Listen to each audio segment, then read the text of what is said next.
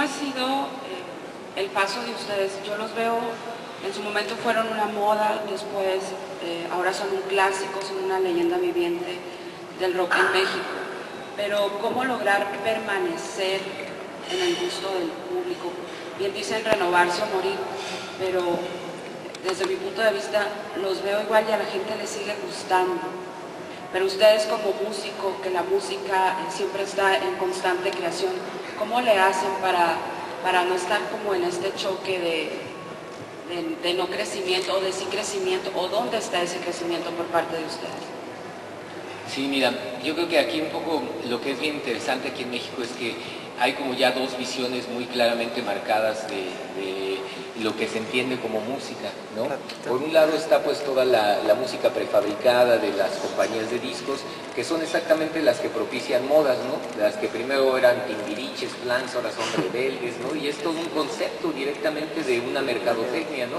En donde pues, esta música se inventa en la oficina de, una, de un eh, ejecutivo de una empresa de, de discos, ¿no? Y ahora pues como también tienen televisión les hacen su reality show, su telenovela para niños, o sea, es un negocio redondo. Esas son el tipo de música que pasa de moda, que, necesitas el siguiente grupo para, para estar renovando el mercado, ¿no? Pero hay otro mundo, hay otro mundo muy fuerte que es el de la música popular en México. La música que nace, crece y se desarrolla en las comunidades, en los barrios, ¿no? Música que aunque no aparezca en los medios masivos de comunicación, tiene un significado profundísimo, cotidiano, cultural, espiritual para la gente. Ese es el caso del son veracruzano, de la música norteña, de la cumbia, del mambo, de tantos géneros en México que significan algo esencial para la gente, ¿no? Porque cada fin de semana, aunque no los veas en la radio en la tele, cada fin de semana hay tocadas y la banda va. Y pues eso es algo bien importante que, a veces la industria de la música ha querido convertir quiere convertir a la música en una mercancía, ¿no? La música vale en, medida en que vendes discos, en que ganas premios, en que estás en la industria, ¿no? Pero pues la música definitivamente no es una mercancía, ¿no? La música es identidad, memoria, cultura, es, es una de las maneras más poderosas que de menos maldita vecindad hemos encontrado para transformarnos nosotros mismos y lo que nos rodea, ¿no? Eh, esto de lo que habla ahorita Héctor, de la cultura como un espacio de, creación de oportunidades ¿no? para los chavos. Entonces, pues realmente esto que comentas en el caso de Maldita Vecindad y yo creo que en el caso de las bandas que estamos aquí, pues nuestra música nace y surgió y se desarrolló en, este, en, esto, en estas comunidades ¿no? de música popular. De hecho, cuando el rock, cuando empezamos haciendo rock, pues era lo más mal visto del mundo, no, tenías futuro, ¿no? Decías, ay, yo hago rock y te decían, ay, entonces ¿de qué, de qué trabajas, no? porque no era visto como una posibilidad ni de desarrollo ni nada.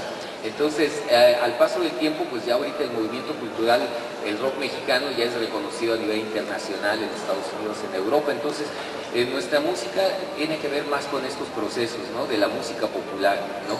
Nuestra música tiene un significado porque eh, no necesitamos cambiar de vestuario o estar este, buscando en la nueva noticia vender el nacimiento de nuestros hijos o los casamientos, Entonces, eso es bien claro, ¿no? Una, una industria de la música que está dedicada más al chisme y a, a, a vender que a hacer música.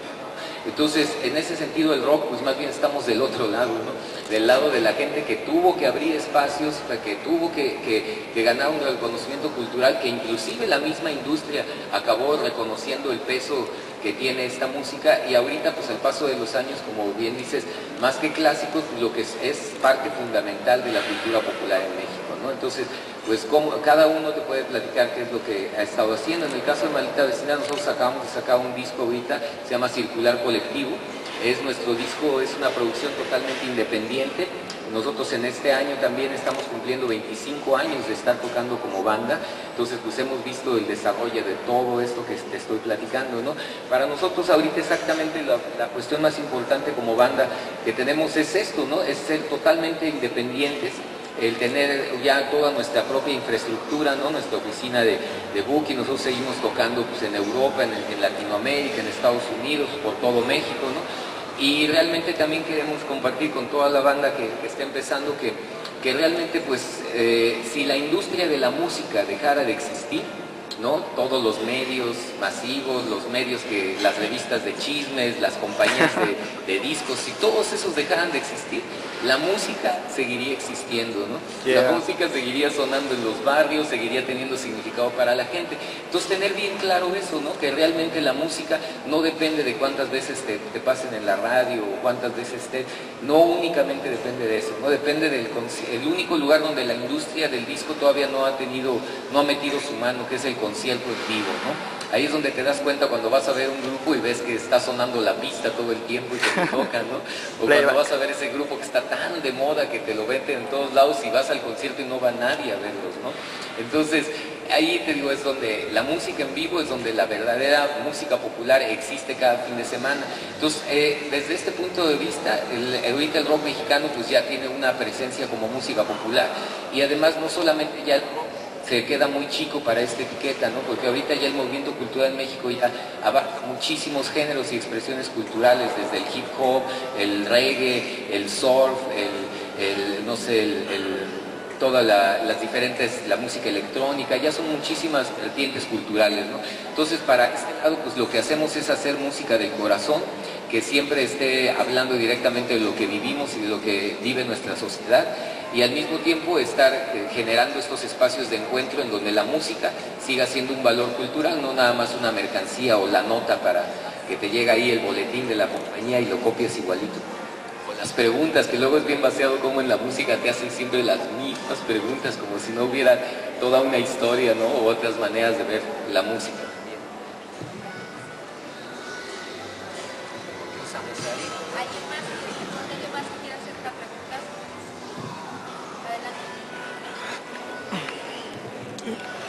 Sí, pues solamente recalcar, ¿no? Eh, que ustedes como una son bandas sobre todo aquí de la Castañeda porque está muy calladito, ¿no? Eh, recalcar, ¿no? O sea, ustedes ya tienen un camino recorrido y la ventaja es de que esta es una rueda de prensa y aquí están todos los medios, pero cuando es una banda del underground no están todos los medios. Entonces, eh, un llamado de parte de ustedes que son los, eh, digamos, eh, son los voceros de parte de la raza que de verdad hace música. Eh, un llamado de ustedes, de parte, más bien para los medios. Darle apoyo a las bandas locales, porque si no, entonces vamos a quedarnos así. Y cuando se acaben estas bandas, pues no va a quedar otra cosa más. Solamente recalcar eso. Mira, yo creo que bueno, Héctor estaba mencionando una cosa bien importante, ¿no? Bueno, yo creo que compartimos lo mismo mientras haya una mediocracia en México, eh, monopólica, realmente no va a haber una, democracia informativa. Los medios masivos de comunicación al final de cuentas están siendo como un, no un medio de información, sino un medio de control de esta información a todos los niveles, ¿no? político, ideológico y cultural, que es lo que estamos hablando ahorita con respecto a las bandas, por ejemplo. Entonces, las bandas, independientemente de que estemos en las 40 principales, por ejemplo, o independientemente de que estemos en el programa este, en televisión abierta en boda, Independientemente de eso, pues hay movimiento cultural atrás, todo un background, también igual de mucho tiempo atrás, de muchos años, que sostiene, que respalda, que forma parte de todo este movimiento este, cultural que es música popular, ya el rock en México, ¿no? que eso es incuestionable. Eh, la pregunta que nos hacían hace 15, 20 años era que si el rock mexicano existía todavía, ¿no? cuando todavía es nacido.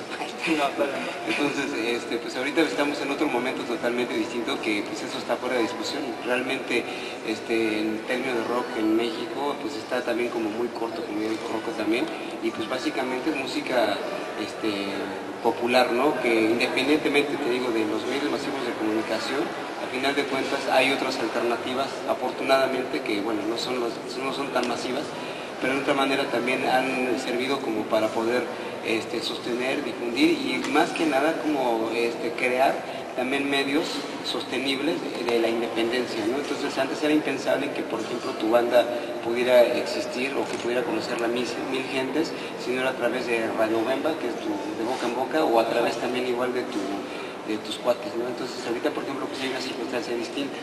Que tampoco es como este, la ideal, pero tampoco es eh, algo que de otra manera eh, sea eh, algo que te obliga a, depender de los medios masivos de comunicación cuando, era antes, ¿no? O sea, hay otras circunstancias. Y al final de cuentas, en ese lapso de tiempo en el que hemos estado viviendo, maldita 25 años, hemos visto crecer eh, otras eh, circunstancias, digamos, alrededor, como los mismos medios de comunicación. Hace rato, eh, decíamos en son de broma, que lo que te preguntaban era que por qué el arete, que por qué el, pelo, ahora nos preguntan que por qué ya no tenemos pelo. Entonces, este,